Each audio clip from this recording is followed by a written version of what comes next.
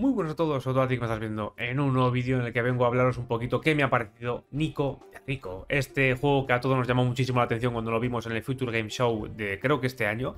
Y lo vimos y dijimos, hostia, me suena de algo, no sé de qué, ¿no? Y bueno, pues es evidentemente un clarísimo homenaje a Tropical Freeze y a Crash Bandicoot It's About Time, el último juego de la saga Crash Bandicoot, último juego de plataformas, mejor dicho, de, este marsupial. Esto es una copia, es un homenaje, y yo me quiero desentender un poquito de, ese, de ese debate, porque yo siempre pienso que por mucho que tú te intentes influenciar de algo bueno, que digo, hostia, si vas a hacer un juego de plataformas en dos dimensiones, qué mejor que fijarte en los mejores, ¿no? Que en este caso pues son Tropical Freeze para mí y para, y para mucha gente y Crash Bandicoot It's About Time. Pero me hace especial ilusión de que se fije en Tropical Freeze porque es uno de mis juegos favoritos de la historia. Ya no solo eh, del propio género, me parece que toca unos límites inalcanzables a día de hoy prácticamente. Eh, hay juegos que le sigue mucho la, pista, como plataformas en dos dimensiones. Me parece que es un género que no se explota demasiado y que, oye, pues, pues que está ahí, ¿no? Em, y luego también hay como dos, dos variantes de plataformas en dos dimensiones. Los que son como muy exigentes, como es el caso de Tropical Freeze o, Crash Bandicoot. Crash Bandicoot dos dimensiones no tanto, ¿no? Pero sobre todo Tropical Freeze y, el de Wii, el, Returns, que me parece incluso algunas fases un pelín más complicadas, pero bueno, eso ya es otro debate. Pero quiero decir de que este videojuego sí copia lo mejor que tiene Tropical Freeze, incluido su banda sonora, ahora hablaremos de ella, eh, pero digamos que está claramente enfocado a todos los públicos. Es decir, es un juego bastante más sencillo de lo que son los los, los otros videojuegos del mismo género. Vale, ¿qué es Nico de Rico a efectos prácticos? Bueno, para empezar, es, un, marsupial, un marsupial, perdón, una mangosta y lo que y, su compañera Luna, bueno, pues eh, salen de aventuras, tienen que, salvar al mundo de un malo que ha robado una que les ha robado un cofre con una joya de no sé qué, bueno, pues eh, en temas de, la narrativa tampoco me quiero meter porque tampoco es lo más importante que tenga el, videojuego, pero una pequeña alusión a, esto y, lo enlazo un poco con el diseño artístico que tiene el videojuego que me parece fascinante. Me parece fascinante porque además me recuerda muchísimo, aquí sí que se ve claramente la inspiración en Crash Bandicoot, en el, en el 4.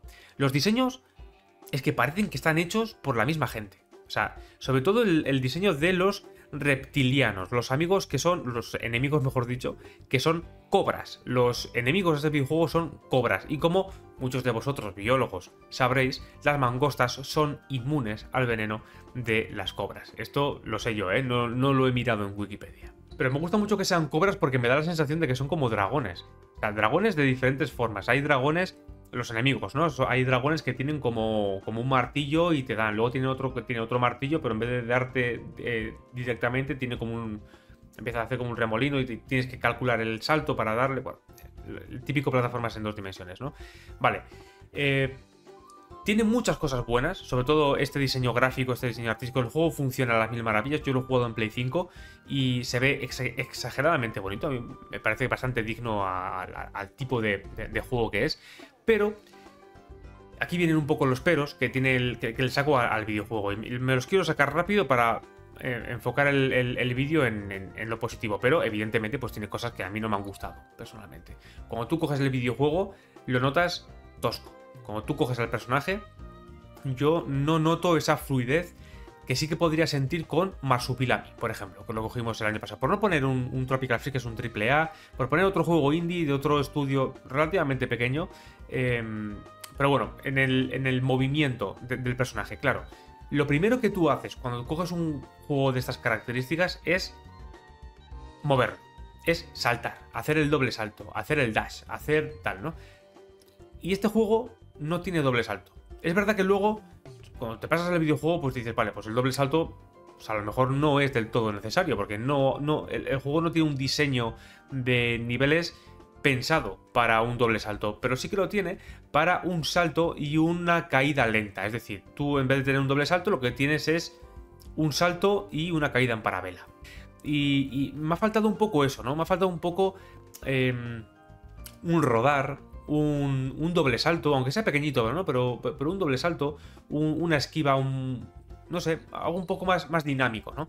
Eh, me ha faltado eso, me ha faltado ese, ese fluir, como el fluir de un río, pero con el personaje, ¿no? Cosa que, no tiene eh, este videojuego. Es verdad que luego cuando lo, vas jugando, vas echándole un poquito más de, de, horas, es verdad que esa fluidez pues llega en algún momento, ¿no? Porque al final me he dado cuenta de que no todos los juegos, para tú sentirte que vas eh, dinámico con él, te tengas que. tengan que ser todos como. yo qué sé, pues como.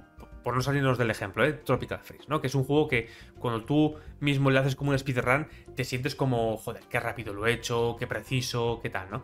Y este tiene una fluidez diferente. Digamos que tiene, pues, eh, es, un poquito más lento, no corre tan rápido. La cámara es verdad que sí que la noto como demasiado alejada para mi gusto, pero bueno, son cosas que, que bueno, no, molestan. Al final son cosas con las que te terminas adaptando al, mismo. Es el típico juego de plataformas para toda la familia. Yo no considero Tropical Freeze el típico juego que tú le darías a tu sobrino de 8 años. O sea, se lo puedes dar y seguramente llegue hasta el nivel de la fábrica de fruta y ahí lo deje.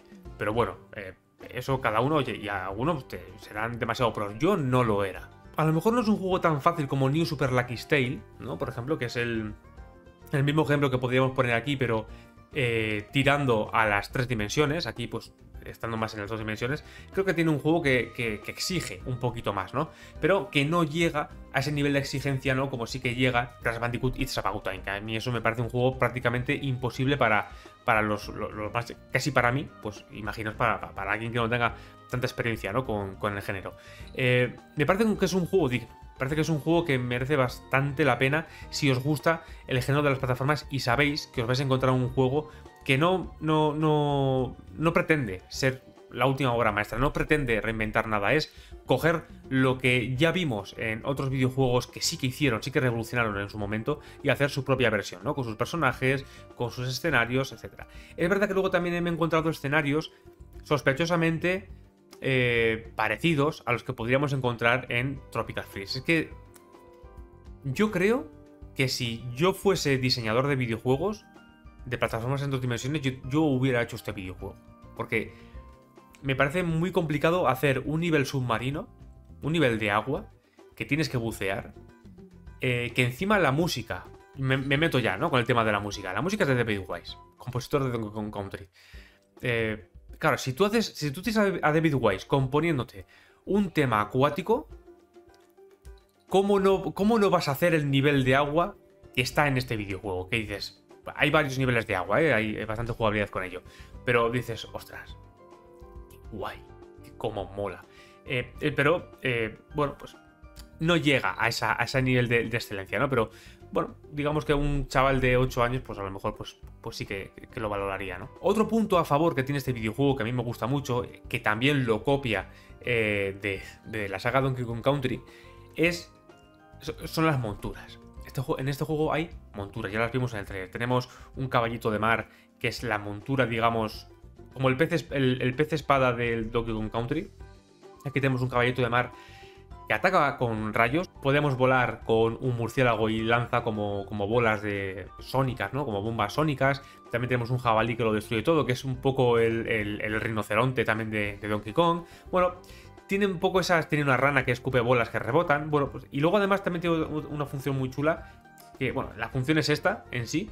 Pero tú puedes eh, comprar monedas y comprar canjes para invocar a estas monturas siempre que, tú quieras. Si se te pone muy complicado una altura de lo que sea, pues mira, pues invocas al murciélago, subes para arriba y llegas a un nivel secreto. Los niveles secretos... Es que claro, los niveles secretos, ¿cómo accedes a los niveles secretos? Pues te metes en un barril y te dispara. Cosa que me... me, bueno, es, lo que he dicho antes, ¿no? Me parece que este juego está claramente enfocado a homenajear a Donkey Kong Country, pero es que se parece demasiado, o sea, se parece, coge elementos que son claramente de Donkey Kong, Country y es que en muchas ocasiones no se cambia ni el tono de color, o sea, no lo sé. Eh, yo ahí sí que lo hubiera hecho diferente, ¿no? De decir, vale, ¿quieres hacer niveles secretos que estén ocultos y que te disparen a, la zona? Pues no lo sé. Eh, que te metan en, un, en, una, caja y que venga alguien, te pegue un porrazo y te lance. ¿sabes? Pero no, visualmente no se dices, vale, esto es como en Donkey Kong Country, pero visualmente no dices, joder, aquí me pones al mono de Nintendo y es que es lo mismo. Entonces ahí sí que hubiera cambiado un poquito esas cosas. Me parece que es un, poco un...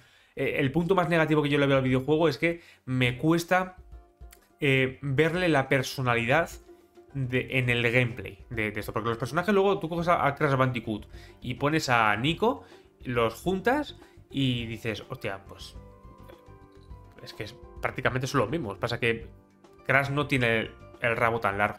Así que bueno, en, definitiva, me ha gustado bastante mucho el, videojuego, posiblemente esté en un, top 10. Eh, tiene bastantes sorpresas, el juego al final merece la pena por, por, eso, ¿no? Pero ya digo, es un juego que bebe tanto de Tropical Freeze y eso me parece que puede ser hasta un punto negativo para quienes le gustan las plataformas y no les gusta Tropical Freeze, cosa que me parece un delito. No sé si ni siquiera si hay gente que exista con esas características. Pero bueno, evidentemente yo os lo recomiendo. El juego sale, como digo, para todas las plataformas. Creo que en enero o febrero sale para Steam. Creo que sale un precio también de 30 euros. Tampoco es un precio exageradamente caro. Lo que no sé es si traerá, creo que sí, ¿eh? creo que sí está confirmada, una edición física del, videojuego. Así que en el mismo saco donde metimos Marsupilami, donde metimos eh, los pitufos, Operación Biloja, metemos ahora Nico de Rico. Es otro más en ese saco de, de bueno, de ancora imprescindibles, ¿no? que podríamos llamar. Así que nada, gente, lo dicho. Un abrazo muy fuerte y nos vemos en el siguiente vídeo o reseña o directo o lo que necesitemos.